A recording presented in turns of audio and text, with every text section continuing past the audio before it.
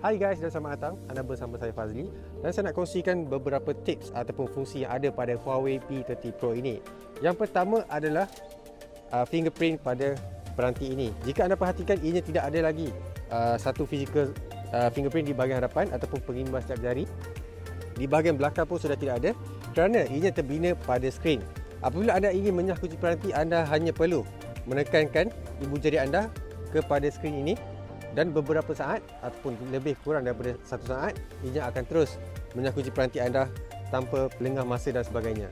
Seterusnya kita tak nafikan Huawei P30 Pro ini mempunyai skrin yang lebih tinggi ataupun lebih panjang. Tetapi jika anda mahu gunakan setiap inci yang ada pada skrin Huawei P30 Pro ini, anda perlu disablekan navigation bar pada bahagian bawah. Untuk membuat perkara tersebut, anda perlu beralih kepada uh, gesture mode ataupun pergerakan gesture untuk pergi ke home dan sebagainya. Jadi untuk ke home screen, anda hanya perlu tatal daripada bawah ke atas dan anda boleh terus pergi kepada home screen. Kemudian jika ingin pergi ke menu sebelumnya, anda perlu tatal daripada uh, kiri ataupun ke kanan. Dan ini akan pergi ke menu sebelumnya.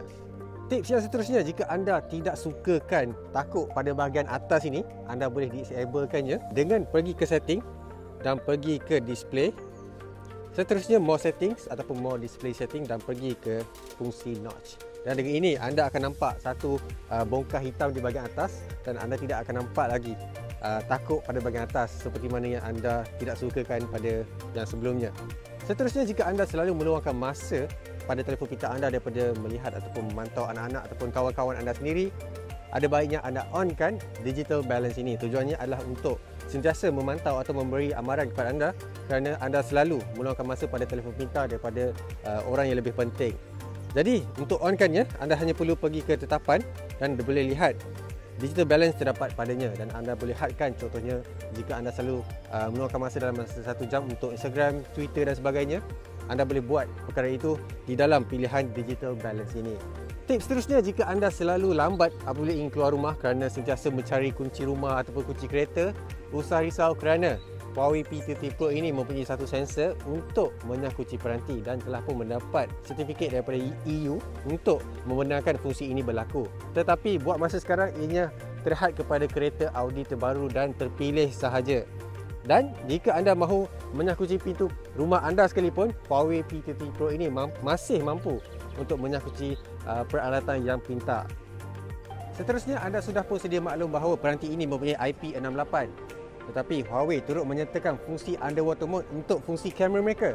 Dengan ini, anda boleh merakam gambar di bawah permukaan air. Caranya senang saja pergi ke kamera, kemudian pada setting more, anda boleh nampak terdapat uh, satu gambar dan juga tulisan underwater untuk digunakan. Dengan ini, dengan mode ini, anda boleh gunakannya dengan menukar butang arah suara dan juga butang kuasa untuk menghidupkan dan juga mematikan uh, fungsi underwater ini.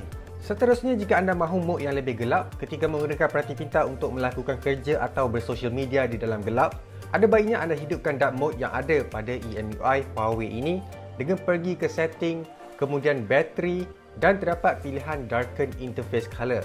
Tetapan ini bukan sahaja akan memudahkan mata anda untuk melihat, malah ia turut boleh menjimatkan penggunaan bateri supaya dapat bertahan dengan lebih lama. Dengan peranti digunakan untuk merakamkan pelbagai video, gambar mahupun membuat dokumen, semestinya anda inginkan sokongan perkongsian pantas yang lebih laju berbanding penggunaan Bluetooth biasa. Untuk tujuan berkenaan, Huawei menyertakan ciri Huawei Share yang memudahkan anda berkongsi ratusan fail dalam masa beberapa saat sahaja. Tidak lupa juga pembantu maya kini menjadi semakin mudah untuk diseru, iaitu dengan menekan butang kuasa selama beberapa saat dan ia akan secara automatik mendengar arahan yang diberikan. Huawei memberitahu bahawa memanggil perkataan OK Google di khalayak ramai menjadi sedikit janggal. Kaedah ini akan membuatkan penggunaan OK Google rasa lebih neutral tanpa perlu menjerit di khalayak ramai. Jadi itu adalah beberapa perkara menarik yang ditawarkan oleh Huawei P30 Pro Itu sebuah peranti mercu Huawei pada tahun ini Ini akan mula dijual pada 6 April ini Macam biasa guys, tinggalkan like dan subscribe Kita berjumpa lagi di video seterusnya